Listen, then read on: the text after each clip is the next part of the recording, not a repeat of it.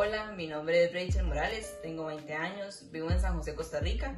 Llevo 3 años estudiando ingeniería electrónica en el Tecnológico de Costa Rica. Cuando estaba chiquitita vi una película en la que hacía un robot, entonces me pareció demasiado interesante y vi que la ingeniería electrónica podía, podía ser parte de esto. También mi papá es mecánico automotriz, entonces desde chiquitita estuve viendo como los procesos que se hacían. Eh, todavía no tengo muy claro en qué me quiero especializar, pero tengo dos opciones, que es la electrónica automotriz y la electrónica espacial. Entonces, entre unos años, unos 10 años, me vería o teniendo mi propia empresa, un sueño que he tenido siempre es estar en la NASA.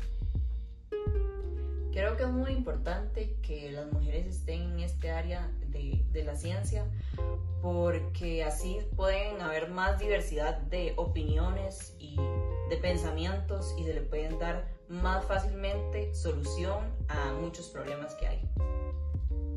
Y para todas las jóvenes que están pensando en estudiar eh, o especializarse en una de estas áreas, las motivo a que empiecen a hacerlo.